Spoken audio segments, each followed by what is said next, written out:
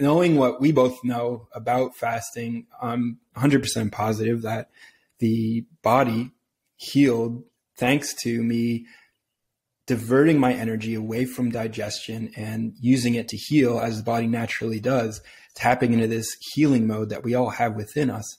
And I'm I'm curious if you yourself has have any similar healing stories or if you encountered anything sort of similar during during your research. Oh, yeah. I mean, the, the sort of stories you're telling are the stories that appear all throughout fasting. Well, I should say all throughout the modern history of fasting.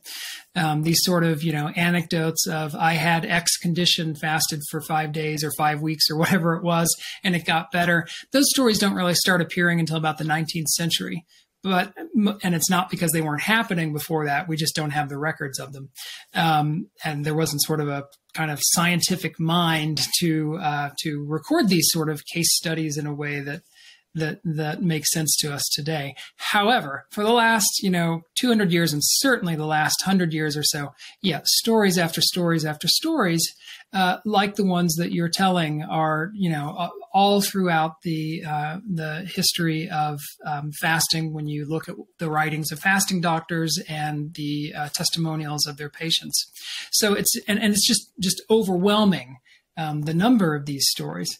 Um, so yeah, my own story, I, ha- I do have a story like that. Um, and, uh, as, as you know, I talk about it in the book and it's, a, it was about fasting to overcome some, uh, psychiatric and neurological, uh, illnesses. Um, and it had never occurred to me to fast to try to overcome these because the long history of fasting is almost entirely talking about somatic illnesses, illnesses of the body you know the the cardiovascular disease or the liver disorder or the you know the migraines whatever they're not talking about like psychiatric um, disabilities.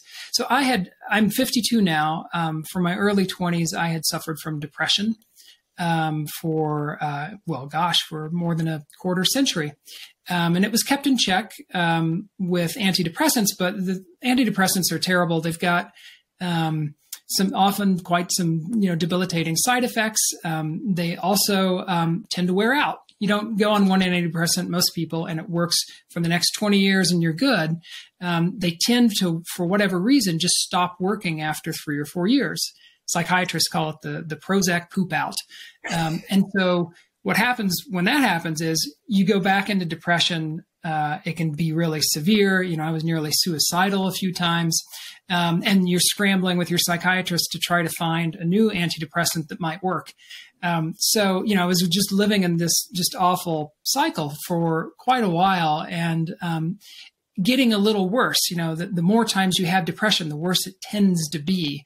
Um, so it was just, it just felt like I was on a, a really downward spiral. And then I had, I, I, won't, you know, bore you with all my other conditions, but I had these other uh, conditions A couple of them were just rare disorders. And the most interesting one, I think, was called idiopathic hypersomnia. Um, hypersomnia just means you're exhausted all the time, you want to sleep all the time, but the hell of it is, is that when you do sleep, it's not restorative. Idiopathic means the scientists and doctors do not know what caused it, they don't have a cure for it. Um, some poor people with this disease are sleeping 20 hours a day they wake up, and in the four hours that they're awake, they're stumbling around like the rest of us feel in those 30 seconds before you go to sleep at night, where you just need toothpicks to prop your eyes open. That's their life. Um, mine wasn't that severe, but it was severe and it was getting worse with each year. I could not, you know, try, try it, you know, feeling that feeling you feel 30 seconds before you fall asleep at night. Try being a parent to a, you know, 12 year old uh, when you're doing that. Try being a good husband or wife. Uh, try being a good friend. Uh, try being a, a good worker. Uh, my my writing ground to a halt, my career ground to a halt. I could feel my mind almost. You know, this is going to sound hyperbolic, but disintegrating. My memory was getting worse. Uh, you know, I was getting depressed more. It was just it was just horrible. And then, and, and as I say, it never occurred to me to fast for these disorders. But what, what saved me was about um, three or so years ago now, four years ago, um, I uh, put on too much weight over the holidays. Um, and so in uh, the new year, I decided to fast in order to take off about 15 pounds. I was going to fast a couple of weeks. Um, and uh, within about three, four days, my idiopathic hypersomnia just started fading. I started becoming more alert and more awake. Um, and at first, I didn't think a whole lot of it because with this disease, certainly the, the way I had it, you might get a good two or three days here and there, and then have a crappy two or three weeks, and get another good day or two, and then have a terrible six weeks or whatever. So it, it fluctuated. But what happened was, as the fast went on, I, I felt better and better and better. And by the time I broke my fast, after two weeks, uh, I had spent my first week and uh, I don't know decades without this hypersomnia. Um, and you know, it's a long story that I uh, tell in the book, but the but the short version is is that I continued to I changed I changed my diet.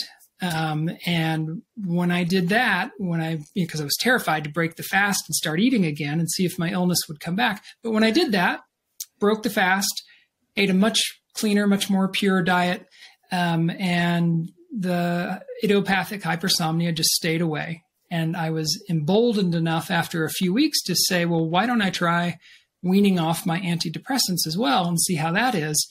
Um, and um, every time I'd done that in the past, I had crashed within a few months. Uh, it this has now been three years, and I am uh, off every single medication that I used to take. I don't take the sleeping pills anymore. I don't take the Xanax for, for anxiety anymore. I don't take the antidepressants. I don't take the stimulants that they give you for the hypersomnia, the Ritalin and so on to kind of keep you awake during the day. All that's gone.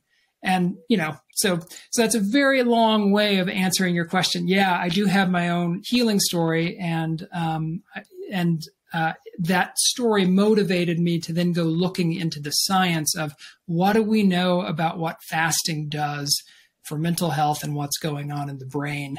Uh, and I found enough, you know, information there to to write what I hope is a compelling chapter on that.